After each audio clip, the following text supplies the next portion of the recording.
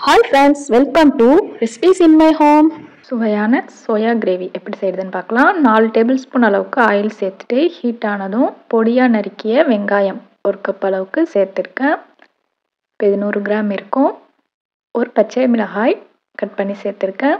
ஒரு ஸ்பூன் அளவுக்கு இஞ்சி பூண்டு பேஸ்ட் ஆட் பண்ணிவிட்டு நல்லா வதக்கி விட்டுடுறேன். இப்போ பாருங்கள் நல்லா வதங்கிடுச்சு. இந்த ஸ்டேஜில் தக்காளி பழம் ரெண்டு மீடியம் சைஸில் கட் பண்ணி அரைச்சிட்டு சேர்த்துக்கிறேன்.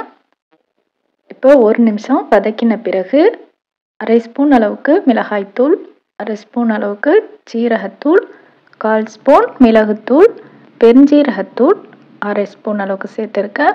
மஞ்சள் தூள் கால் ஸ்பூன் அளவுக்கு சேர்த்துக்கிறேன். உங்களுக்கு எவ்வளவு காரம் தேவையோ சேர்த்துக்கோங்க.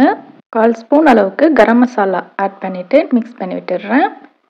சோயா நூறு கிராம் நல்லா ஊற வச்சு பாயில் பண்ணி எடுத்து வச்சுருக்கேன். இப்போ சேர்த்துக்கிறேன். உப்பு போட்டு பாயில் பண்ணியிருக்கேங்க சேர்த்துட்டு மிக்ஸ் பண்ணி விட்டுடுறேன். அப்போ இந்த மசாலாவுக்கு தேவையான அளவுக்கு உப்பு சேர்த்துருக்கேன். இப்போ அதை நல்லா மிக்ஸ் பண்ணிக்கிறேன்.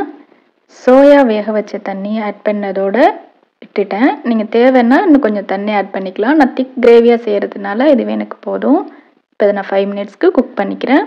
இப்போ லோ ஃப்ளேம்லேயே ஃபைவ் மினிட்ஸு நல்லா குக் ஆகிடுச்சு ஓப்பன் பண்ணி காட்டுறேன் பாருங்கள் எப்படி இருக்குன்னு. அவ்வளோதான் ஃப்ரெண்ட்ஸ் இப்போ ஆஃப் பண்ணிவிட்டேன் சோயா கிரேவி ரெடி நம்ம சேனலில் ஃபஸ்ட் டைமாக பார்க்குறீங்கன்னா சப்ஸ்கிரைப் பண்ணி வச்சுக்கோங்க ஃப்ரெண்ட்ஸ் பக்கத்தில் ஒரு பெல் ஐக்கனை கிளிக் பண்ணி ஆல் ஆப்ஷன் கொடுத்து வச்சுக்கோங்க. தேங்க்ஸ் ஃபார் வாட்சிங்